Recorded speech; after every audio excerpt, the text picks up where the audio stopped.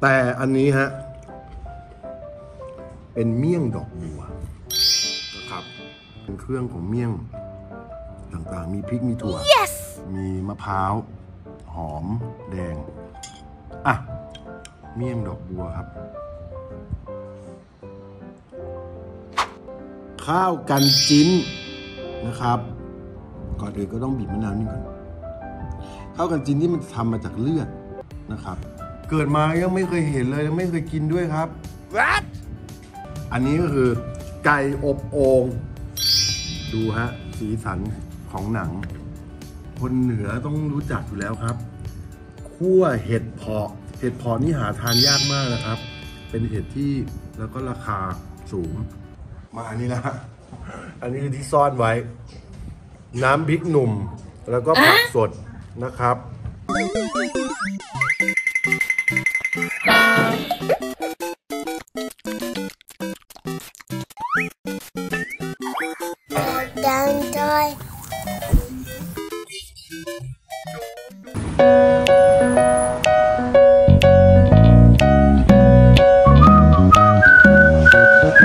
ครับ ชาวแขกตามดอยครับ ตอนนี้ผมยืนอยู่ที่หน้าสวนเยาวภาครับนี่เลยสวนเยาวภานี่มีร้านอาหารแล้วก็มีฟาร์มผักนะครับ ซึ่งน่าสนใจมาก อาหารที่นี่เป็นอาหารแบบ traditional หรืออาหารพื้นเมืองอาหารพื้นถิ่นนะครับ เราเลยต้องมาครับ แล้วชื่อร้านอาหารชื่อว่าหน้าต่างเขียว เดี๋ยวจะพาเข้าไป ที่นี่คือศรีราชา สวนเยาวภากับร้านหน้าต่างเขียวครับ นี่ครับมาถึงแล้วนะครับ เข้ามาในนี้นี่บรรยากาศดีมากเป็นเหมือนสวนนะครับ แล้วก็นี่คือร้านหน้าต่างเขียว ซึ่งในนี้ก็จะมีคาเฟ่ด้วย แล้วก็มีกิจกรรมให้เด็กๆได้ทำนะครับเนี่ยไม่ว่าจะเป็น activity อะไรต่างๆ มีโกคาร์ทด้วยมีให้อาหารปลา มีชมเต่า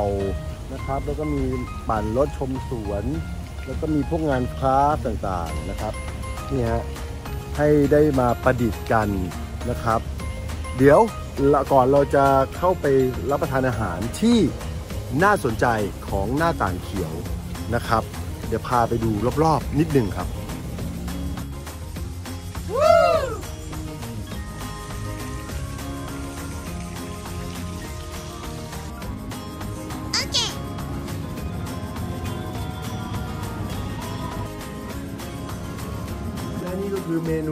วนเยาวภานะครับ ที่แขกตามรอยต้องมาครับ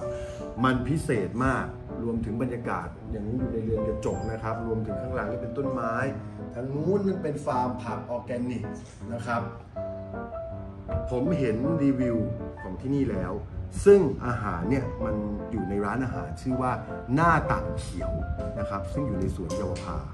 ก็มีอะไรที่น่าสนใจเยอะแยะมากมาย เริ่มแรกครับ ผักนี่มาจากมาจากฟาร์มออร์แกนิกแน่นอนนะฮะเป็นเอ่อต้นอ่อนทานตะวันนะครับ นี่เลย แล้วก็เป็นยำ อันนี้คือยำเยาวภา ใช่ไหมครับเอายำยกสวน ก็จะมีในนี้มีอะไรบ้างเนี่ย มีแมงกะพรุนมีหมู หมูสับ มีกุ้ง มีปลาหมึกอือหือเฮ้ยไม่ธรรมดา รสชาติแบบจัดจ้านคือดูแล้วมันจืดนะครับ แต่ว่ารสชาติ รสชาติอร่อย อืมเยี่ยมเลย ถัดไป อันนี้ครับ ปกติ ผมเป็นคนชอบทานเมี่ยงอยู่แล้วแต่ว่าส่วนใหญ่จะเป็นเมี่ยงคะน้าหรือว่าใช้ใบชะพูหรือใบทองหลางอะไรว่าไป แต่อันนี้ฮะเป็นเมี่ยงดอกบัวนะครับ ใช้กรีดดอกบัวมาทำอ่าเดี๋ยวนะครับ ในนี้ก็จะเป็นเครื่องของเมี่ยงต่างๆ มีพริกมีถั่ว Yes! มีมะพร้าว หอมแดงอะ เมี่ยงดอกบัวครับ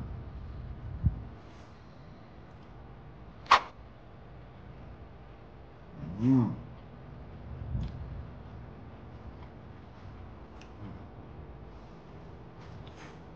เยี่ยมเลย คือ ไม่คิดว่าดอกบัวกินดอกบัวมันทานได้คือไม่เคยทานมาก่อนครับ แต่ก็ลงตัวอยู่ มันจะไม่ฝาด ตัวกลีบดอกบัวมันไม่ฝาด แล้วก็กินเปล่าๆก็ได้ใช่ไหมฮะต้องเป็นดอกบัวที่ทานได้อะอันนี้เรียกว่าดอกบัวอะไรครับ บัวหลวงอ่าส่วนบัวอื่นก็อาจจะไม่แนะนำให้ไปทำนะเพราะว่าเอาไว้ถวายพระ หรืออาจจะมียางเยอะ แต่ถ้าเป็นบัวลักษณะบัวหลวงเนี่ยโอเคเลย โดยเฉพาะตัวกรีบ เออ แปลกดีแล้วก็ออกมาดูสวยงามนะครับ ไว้สำหรับแบบรับรองแขกได้เลยนี่ฮะ อาหารเหนือก็มา ข้าวกันจิ้น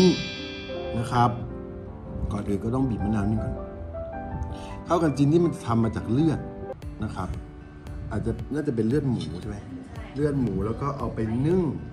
เอาไปนึ่งเอาไปขยำขยำแล้วก็นึ่ง แล้วก็มีหมูสับด้วยนะครับ ข้าวกันจิ้น Wow. อื้อหือเยี่ยมเลย เยี่ยมเลยจริงๆแล้วก็มีครับหมู ครับ สามอย่างนี้เรียกได้ว่าอร่อย แล้วก็ดีดูแปลกตา ไม่ใช่แปลกตาอย่างเดียวอร่อยด้วย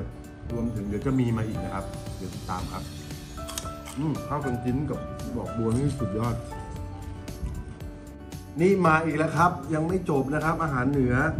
อันนี้น่าสนใจมาก เกิดมายังไม่เคยเห็นเลยยังไม่เคยกินด้วยครับ What? มันมีชื่อว่าสาปรี ซึ่งทำจากหัวปรีแน่นอน ใช่ไหมครับ แล้วก็มีส่วนประกอบอะไรบ้างเดี๋ยวผมดู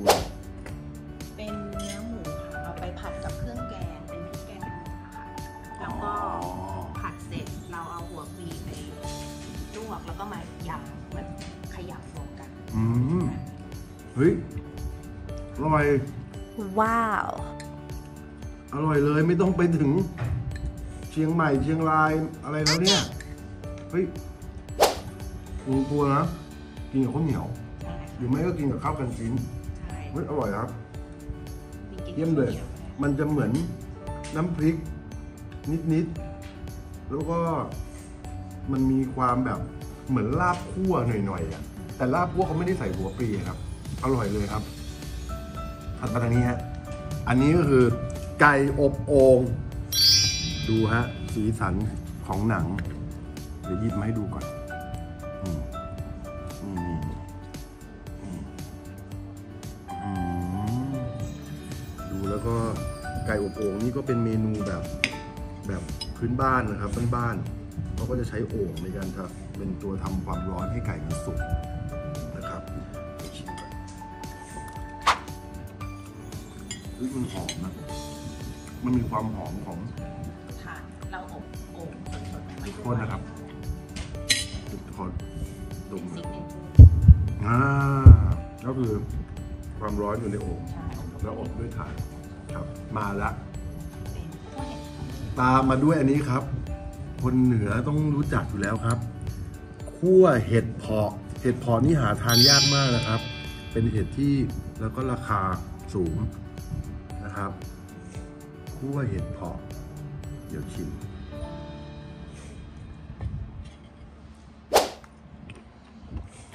ตายเยี่ยมเลยสุดยอด มันมันอร่อยแล้วลงตัว ถ้าเป็นอาหารเหนือรวมถึง อื่นๆด้วยนะครับ ไม่ใช่อื่นไม่อร่อย แต่ตัวผมเองส่วนตัวชอบทานอาหารเหนือแล้วก็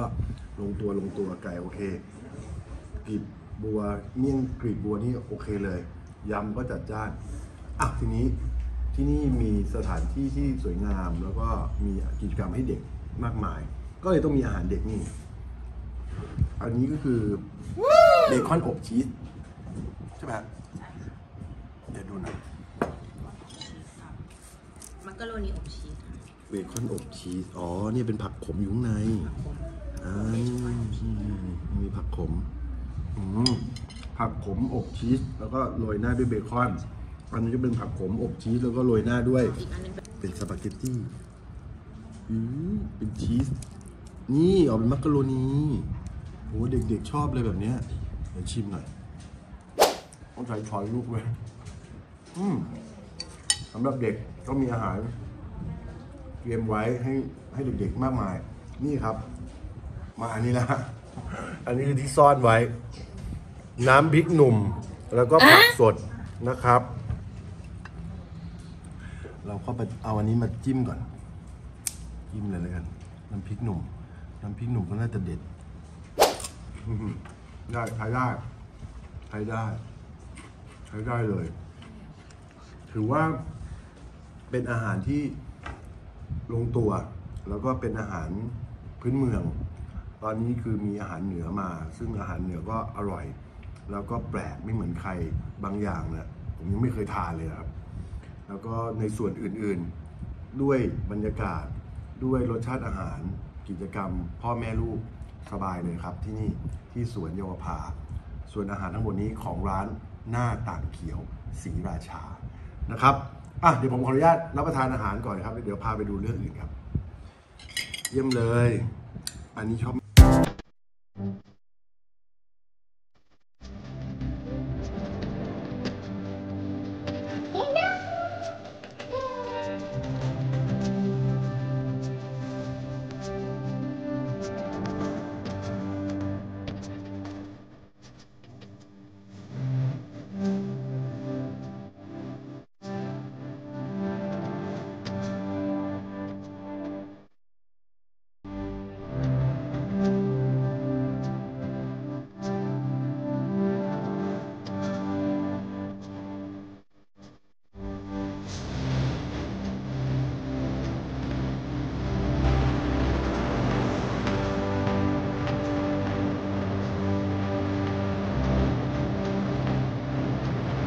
กิจกรรมของที่ฟาร์มเยาวภานะครับ อ้าว สนุกไหมเลือกอ้าวบ๊ายแล้วบาก็ยมีเต่ามีเต่าด้วยอือหืออ้าวดีโซสนุกไหมโอเค พอทานข้าวเสร็จแล้วก็มาปั่นจักรยานครอบครัวกันนะครับ อาหารอร่อยมาก แท็กซี่นะเป็นแท็กซี่เหรอ เอาบ๊ายบายกล้องหน่อย บายบายโอ้โอ้โหไปใหญ่เลยเนาะโอ้โห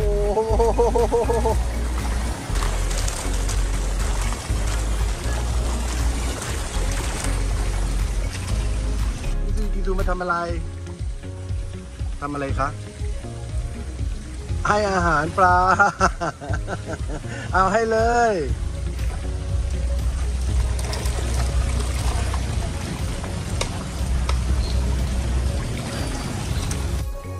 ครับและนี่ก็คือความสนุกสนานกิจกรรมของครอบครัวแล้วก็ของเด็กๆที่สวนเยาวภา และความอร่อยอาหารต่างๆ ที่ได้แนะนำไปเรียบร้อยนะครับ ของร้านหน้าต่างเขียว ซึ่งอยู่ในสวนเยาวภาศรีราชาแห่งนี้สำหรับพ่อแม่พี่น้องหรือว่าบุตรหลานท่านใดนะครับ สนใจอยากจะมาเที่ยวที่นี่นะครับ ที่สวนเยาวภาศรีราชาเขายินดีนะครับ มีกิจกรรมมากมาย อาหารเยอะแยะอร่อยมากด้วยครับ มากันได้ วันนี้แขกตามดอยขอลาไปก่อนนะครับ แล้วพบกันใหม่ EP หน้าว่าเราจะไปเที่ยวไปกินไปชิมอะไรที่ไหนนะครับวันจะลืมกดแขกตามดอย วันนี้ลาไปก่อน สวัสดีครับ